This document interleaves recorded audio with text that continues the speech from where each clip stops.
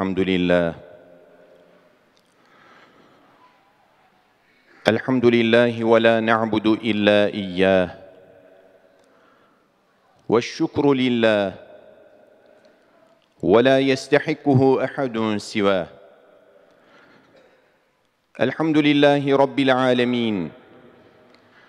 والصلاة والسلام على رسولنا محمد وعلى آله وصحبه أجمعين. أما بعد فيا عباد الله إن أصدق الحديث كتاب الله وأحسن الهدي هدي محمد. اتقوا الله يا عباد الله أوصيكم بتقوى الله وطاعته. إن الله مع الذين اتقوا والذين هم محسنون. قال الله تعالى في كتابه الكريم. بسم الله الرحمن الرحيم. ظهر الفساد في البر والبحر بما كسبت أيدي الناس ليذيقهم بعض الذي عملوا لعلهم يرجعون. صدق الله العظيم.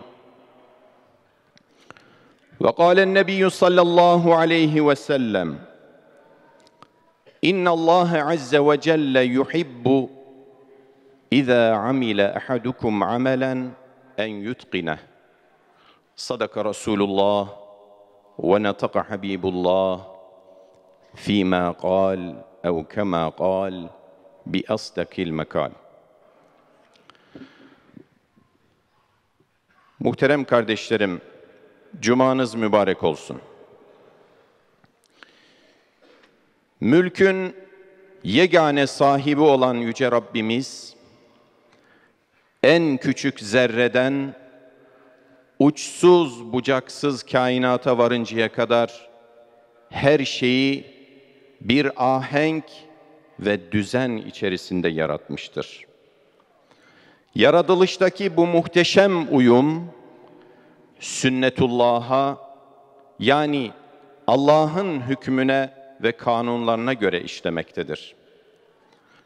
Bizlere düşen bu ilahi düzen ve yasalara göre hareket etmek, evrende var olan sebep sonuç ilişkisine uygun davranmaktır. Aziz müminler, sebepler dairesinde cereyan eden hadiselerden biri de afetlerdir. Deprem gibi afetlere engel olmak elbette mümkün değildir. Ancak akıl, bilim ve tecrübe ışığında afetlere karşı tedbir almak ve bunların yol açacağı tahribatı en aza indirmek öncelikli görevimizdir. İslam'ın emrettiği tevekkül anlayışının gereği de budur. Dinimiz önce bütün tedbirleri almamızı, üzerimize düşen bütün sorumlulukları yerine getirmemizi emreder. Ondan sonra Allah'a tevekkül etmeye, ona güvenip teslim olmaya davet eder. Nitekim bir adam Peygamberimiz sallallahu aleyhi ve sellem Efendimiz'e gelerek Ya Resulallah deveyi bağlayıp da mı Allah'a tevekkül edeyim yoksa deveyi bağlamadan mı tevekkül edeyim diye sorduğunda Allah Resulü ona şöyle cevap vermiştir. Önce deveni bağla, sonra Allah'a tevekkül et.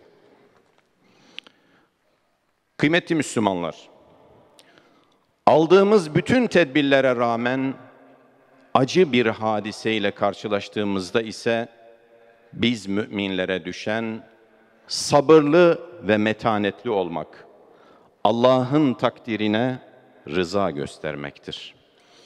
İçinde bulunduğumuz durumu aklı selim ile değerlendirmek, ihmal, yanlış ve hatalardan gerekli dersleri çıkarmaktır. Cenab-ı Hakk'a tazarruda bulunmak, tevbe ve istiğfarla, dua ve niyazla ona sığınmak, rahmet ve yardımını istemektir. Değerli müminler, Kur'an-ı Kerim'de şöyle buyurulmaktadır. İnsanların kendi elleriyle yapıp ettikleri yüzünden karada ve denizde düzen bozuldu. Böylece Allah yanlış yoldan dönsünler diye işlediklerinin bir kısmını onlara tattırıyor. Evet, afetlerin kötü neticelerinin bir kısmı kendi hata ve ihmallerimiz sebebiyledir. O halde geliniz, afetlere karşı bilinçli, tedbirli ve hazırlıklı olalım. Sevgili Peygamberimiz sallallahu aleyhi ve sellemin Allahu Teala birinizin yaptığı işi en sağlam şekilde yapmasından memnun olur. Hadisini kendimize rehber edinelim. Deprem kuşağı üzerinde yer alan ülkemizin gerçeklerine uygun adımlar atalım. Evlerimizi en doğru yere, en sağlam malzemeyle ve en güzel şekilde inşa etmenin gayretinde olalım. Heyelan ve sel riski bulunan bölgelerde, dere yataklarında bina yapmaktan kaçınalım. Kendi ellerimizle kendimizi tehlikeye atmayalım. Aziz Müslümanlar, yüzlerce vatandaşımızın vefatına, binlercesinin etkilenmesine sebep olan 12 Kasım 1999 Düzce depreminin seneyi devriyesi olan yarın saat 18.57'de depremlere karşı toplumumuzda farkındalık oluşturmak amacıyla ülke genelinde çök, kapan, tutun hareketleriyle deprem tatbikatı yapılacaktır. Rabbimiz Kur'an-ı Kerim'de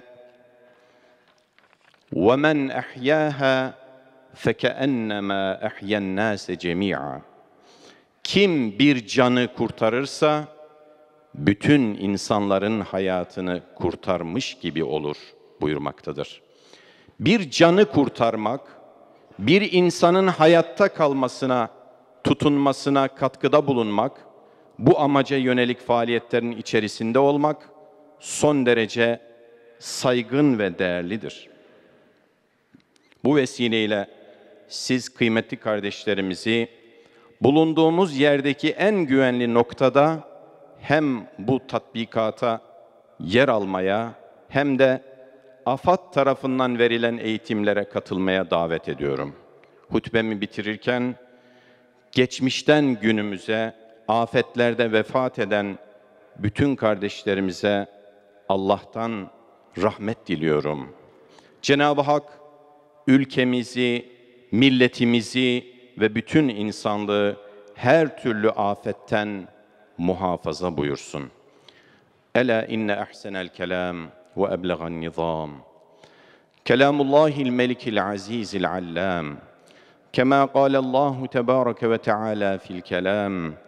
وإذا قرئ القرآن فاستمعوا له وأنصتوا لعلكم ترحمون. بسم الله الرحمن الرحيم. إن الدين عند الله الإسلام. صدق الله العظيم. وقال عليه الصلاة والسلام التائب من الذنب كمن لا ذنب له. أستغفر الله العظيم وأتوب إليه وأسأل الله لي ولكم التوفيق. Günahından hakkıyla tevbe eden günahsız gibidir.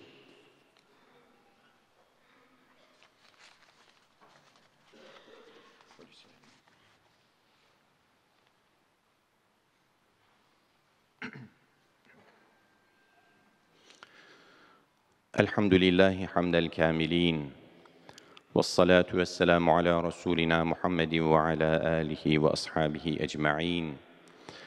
تعظيما لنبيه وتكريما لصفيه فقال عز وجل من قائل مخبرا وآمرا إن الله وملائكته يصلون على النبي.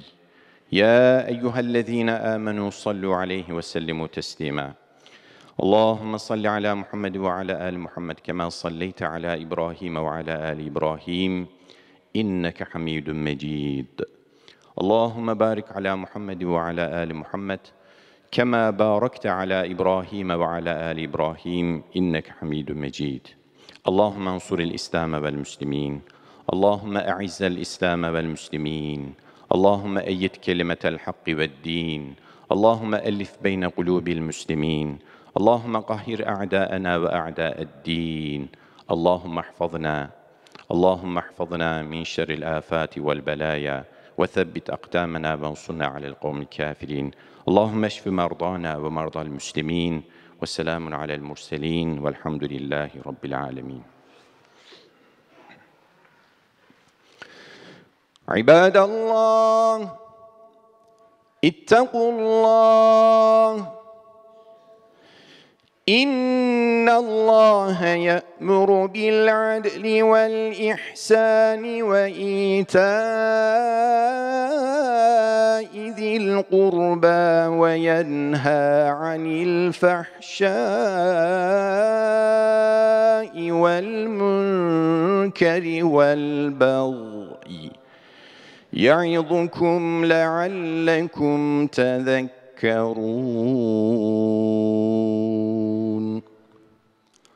Allah adaleti ve yaptığınız işleri iyi yapmayı ve akrabaya yardım etmeyi emreder.